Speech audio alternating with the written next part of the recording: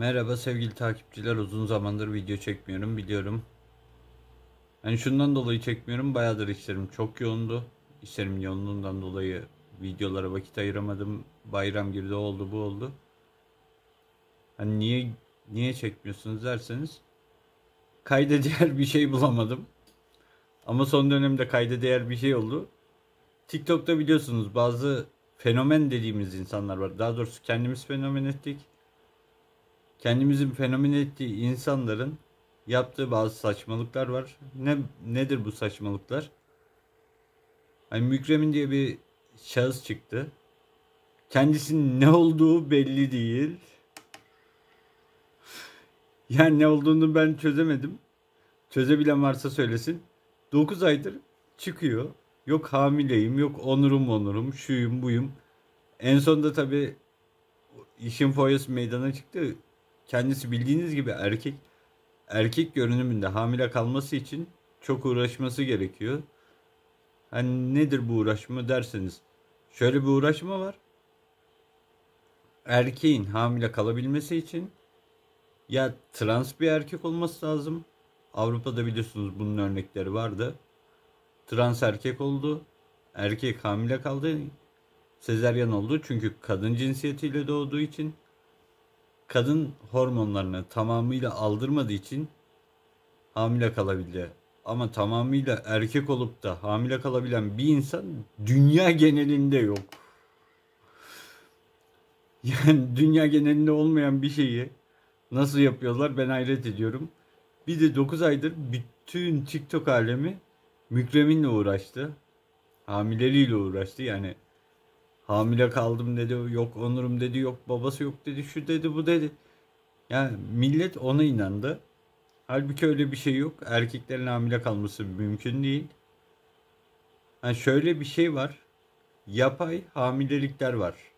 Biliyorsunuz bu sinema sektöründe kullanılan plastik diye tabir edilen şişme karınlar var. Hamile gibi gösterebilen. 3 aydan 9 aya kadar her çeşitte boyu da var. Bunları alıp kullanabilirsiniz. Yani bunlar var, başka fenomenler var. Fenomen dediğimiz insanları zaten kendimiz yaratıyoruz. Ben benim fenomen olmak gibi bir derdim yok. O ayrı bir konu da. Benim fenomen olmak gibi bir derdim olmadığı için pek bir sıkıntı çekmiyorum bu konuda. Ama fenomen dediğimiz insanları kendimiz yaratıyoruz arkadaşlar. Bunu unutmayın. Hani YouTube'da, TikTok'ta, Twitch'te bütün hepsini biz kendimiz yaratıyoruz.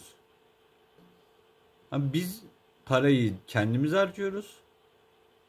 Onlar da kendi harcıyormuş gibi gösteriyor. Yani bizim harcadığımız parayla bizim aldığımız jetondur, elmastır, ıvırdır, zıvırdır bunlarla kendilerini üstün görüyorlar.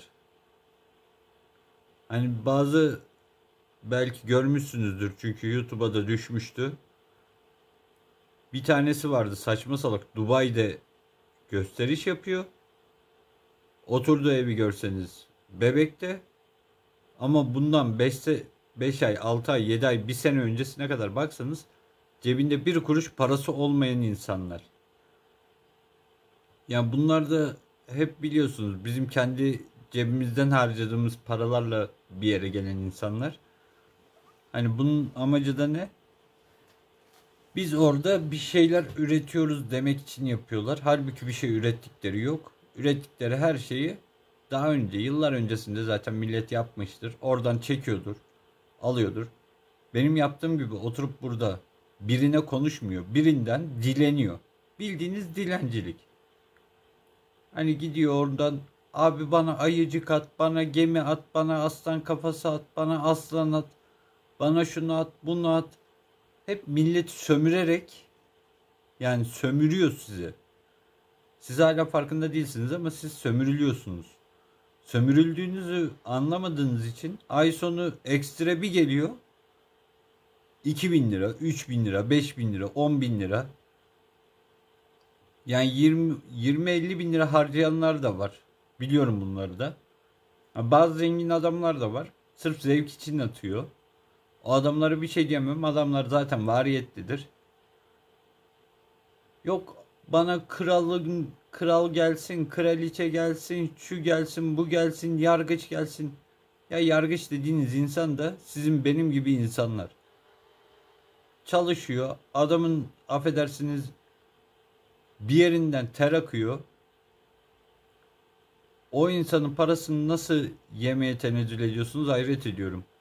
Ben de tamam TikTok'ta yayın açıyorum ama kimseden şimdiye kadar bir, bir iğnenin başını bile dilenmiş değilim. Ben neyi açıyorum? Ben zevk için açıyorum. Oturuyorum, eğlencemi yapıyorum. Gırgırımı şamatamı geçiyorum. Çekiliyorum köşeme. Ha YouTube'a niye video atıyorsunuz derseniz. YouTube'da ben sadece gerçekleri dile getirmeye çalışıyorum. Kendi mizahımca. Kendimi anlatabildiğim kadar. Ha şu da var. İzleyip izlememek size kalmış. O konuda ben bir şey diyemem. İster izlersiniz, ister izlemezsiniz. Beni pek ilgilendirmiyor. Ama dediğim gibi yani insanlar sömürülmeye çok alışmış. Yıllarca sömürüyle çalışan bir insan statüsündesiniz.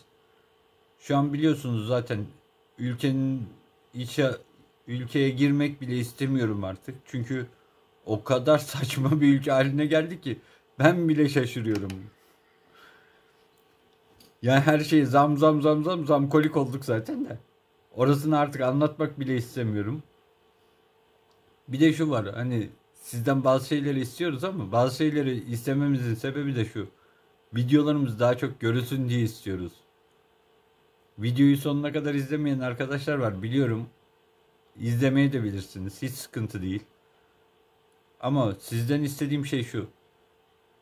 Ufacık bir destek ya. Bir kere abone olsanız bile ben sizden para istemiyorum. Sizden bir kazanç da sağlamıyorum. Benim bir kazancım da yok. Kazancım olmadığı için hani pek bir şey getirmiyor bana. Ben bu videoları sadece zevkime çekiyorum. Ha, destek olursunuz olmazsınız. O beni ilgilendirmez. O sizin bileceğiniz iş. Bir kişi bile abone olsa benim için değerlidir. Yani şu an gördüğünüz üzere 81 abone var. Aşağı yukarı 40 küsür tane video var. Onun haricinde bir o kadar da şeyim vardır. Kısa videolarım vardır. Kısa videolar tabii TikTok'tan, TikTok'tan çektiğim videolardır.